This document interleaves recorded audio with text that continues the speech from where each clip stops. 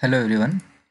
If you wanna apply wrap stabilizer effect and time remapping for the same clip, it shows an error saying uh, you cannot apply wrap stabilizer effect and time remapping on the same clip.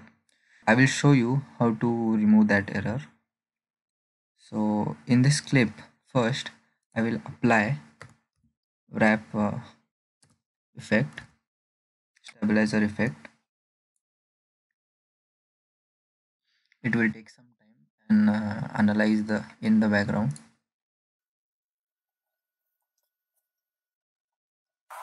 So it has stabilized it now.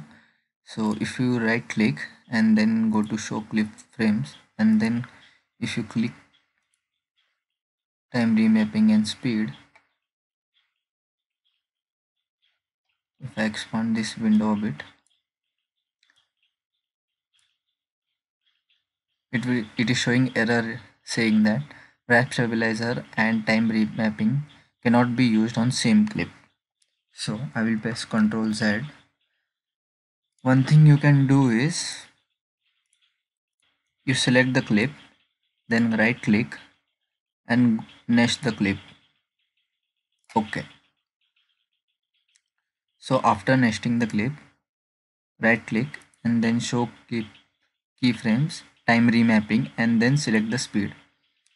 Now you can do the time ramping accordingly. Thank you guys. See you in the next video.